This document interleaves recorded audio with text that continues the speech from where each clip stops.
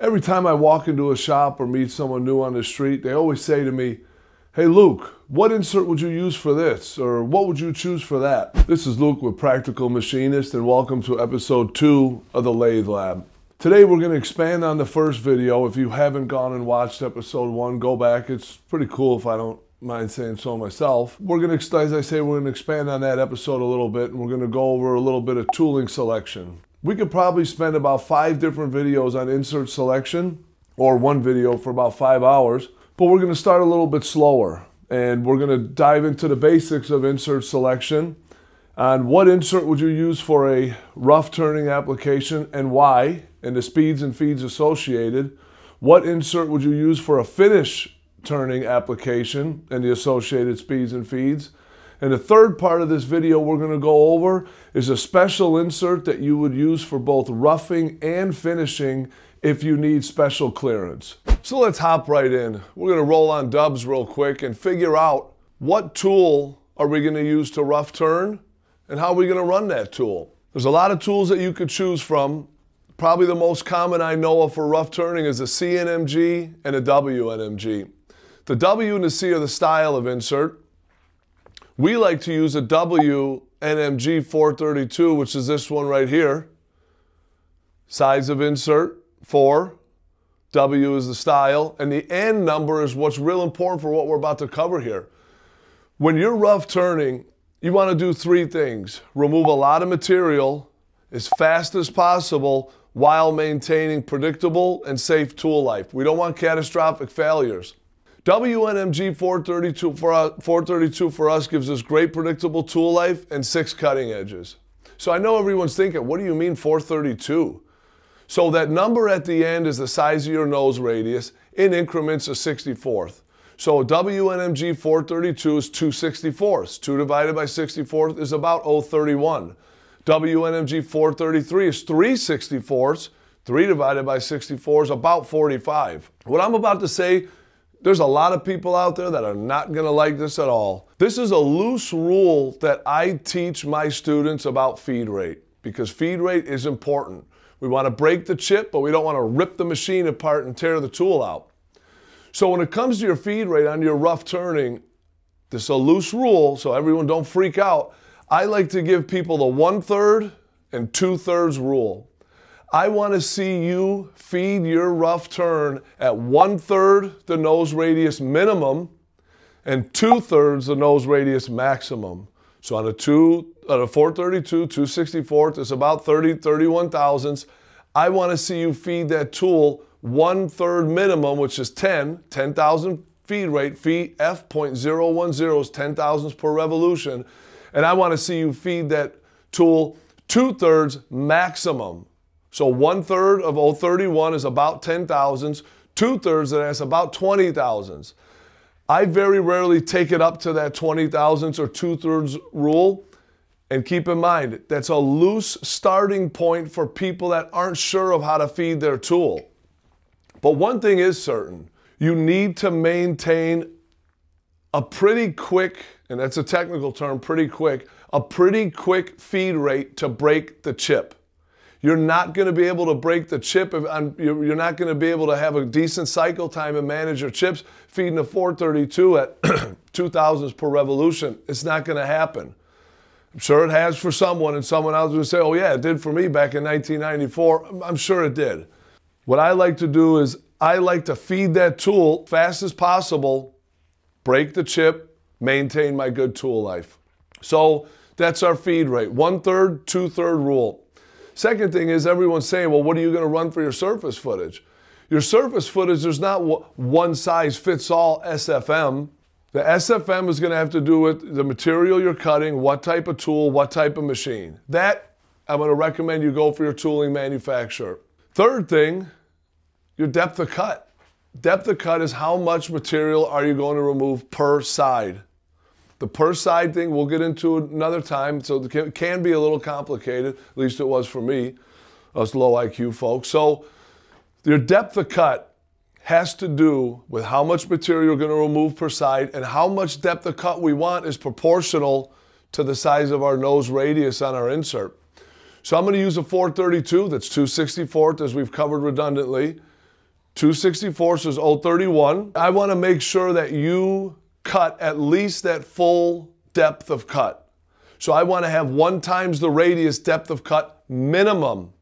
Minimum. So we, if, if you don't engage that full radius, your chances of managing that, managing that chip are less and less with the least amount, the less you engage that radius.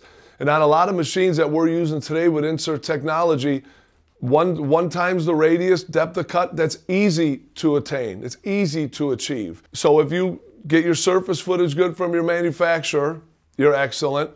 Maintain the one third, two third rule, or start a little bit slower on it, but don't go too slow. Start with the one third feed minimum, 10 thousandths per rev on a 32. And the third thing, if you maintain that depth of cut a minimum, the nose radius, and then dial that up or down, or I guess more up as you have to to get your cycle time and manage your chip. If you do those three things, that's a wonderful place to start on insert selection for rough turning and how to run it. So let's take a look real quick. Let's hop actually into the lathe lab. Let's watch the machine run and see us roughing off some material. You can see if WNMG 432 roughing some 416.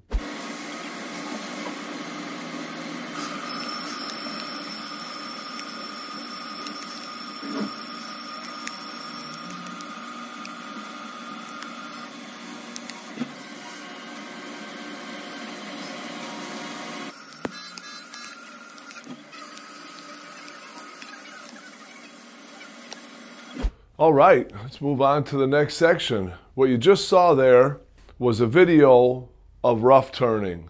We were rough turning 416 stainless steel with a WNMG 432, and I believe we got our feed rate up to about 13 to 14 thousandths per revolution. So we were right in the middle of that one third to two third rule. Surface footage, I think, was around 550 SFM, which was from our manufacturer specs on 416.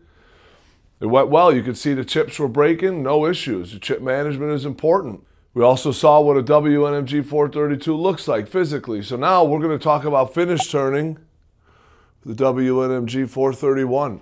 That first section when I was back there talking previously, it was pretty lengthy and long-winded. Trust me, I know. But that's really important information that has to be covered. And that was such a long speech, for lack of a better term, so we could knock those basics out of the way because rough finish, rough turning, finish turning, profiling, pre-finish, finish, they all follow the similar aspects. You need to know what your RPM is or your surface footage. You need to know what to cut for a depth of cut, and you need to know what you can feed your insert at. The one-third, two-third rule can be spread over. The SFM we can find from the manufacturer What's really important that a lot of people overlook when it comes to finish turning that we're going to cover now is the depth of cut. We're using a WNMG 431 that has a one nose radius, 164th, about 15 and a half thousandths, 0.0156. That's what I want to see you leave for your material removal after your rough turn. So when your rough turn, say you have a part like this, you rough it all down, and you're gonna you have to know what your material allowance is for your finished turn. I want you to leave 15 thousandths per side. And same thing, a lot of people are to say, no, you can leave one, you can leave 50. Maybe that's true. But I like to have a rule that I teach employees I work with and students at the school leave the nose radius per side. Maybe you have to adjust it a little bit here and there for whatever reason, but it works. It works. And also your feed rate. For a finished turn, we're going to feed minimum one third the radius, which would be about 5 thousandths per rev, maximum two thirds the radius, which is about 10. And I'm going to reiterate because there's going to be people that say, you know, this guy is absurd. He doesn't know what he's talking about. It's a loose rule for people to follow. I've been 20, 25 some odd years or something in a CNC, or oh, about 20 in a shop. i have a good idea what to finish in rough turn 303 stainless steel. Someone else on lathes 15 years, they know. But think about the person that is just starting. Where do they start? Google? Mean, they're going to go there.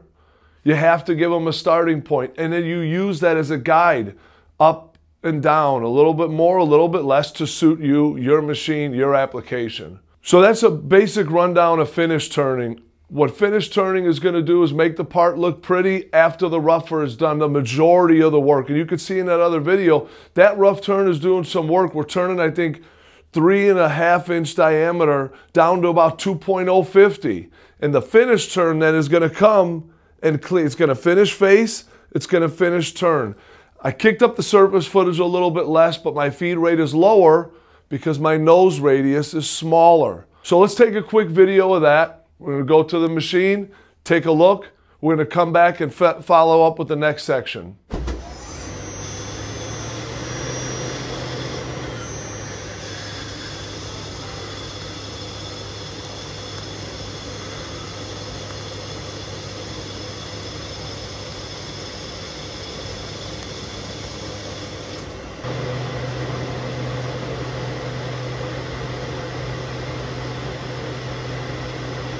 All right, that's finished turning. And the, the, same thing, a couple terms I hate to use. One of them is bread and butter. Finished turning, like rough turning, is your bread and butter on a lathe. The rough turn prepares the tool, the part for the finished turn. The rough turn does the hard work. Boom, boom, boom, boom, boom. Rough turns it off. Finished turn comes, make it look nice and purty. But there's other applications in which a WNMG or a CNMG wouldn't work. Air 2, or whatever that saying is. Look at this part. This is kind of like, um, I don't know, whatever it might be, a little weird Christmas tree thing. Here's your WNMG. Your WNMG can't get in these grooves. It can't do it. It'll smash. So what do we do? Either A, we don't run this part and we throw it in the trash, or B, we make it work with this type of tool. This particular geometry tools called a VNMG 332 and take a look. It will come in there and profile all of them. Beautiful. VNMG 332. Another option would be this one that I believe is a VCMT. Same thing, it's going to come in here. Boom. Well, maybe not at that back, it'll hit. But you get the idea. Now, we talked about rough turn, finish turn. This last section, we're going to be talking about a special insert or type of turning that you're going to use this different tool for clearance that a W or a CNMG wouldn't work. Furthermore, there's applications like this, which is brass, in which you don't need necessarily to have a rough and finish turn unless your tolerances or surface finish for that finisher was super critical. Something like this would work fine. You could use your rougher, rough it all out, rough it out, come back and profile it all with the same tool because it's brass. You know, and I get a lot of people that come around saying, oh no, I'm going to have a rough and finish everything. I'm going to have a rougher, a pre-finish, a finish. If it's brass with wide open tolerance, wide open tolerances, grab a used tool, program it, rock and roll. Save yourself some money, time, and most importantly, a headache. Same here, look at that. You would come in here rough, rough, rough, rough. And then you're going to use that same tool to profile it all. Beautiful. So that's that last section I wanted to talk about. Special profiling tool. Got one more video for you to see that shows that. A job that I program where you, we're using the same tool to rough the ball, then the same tool to finish the ball. No problems at all because it's brass. So take a look at that. Then we're going to come back, talk about everything for a moment, conclude the video.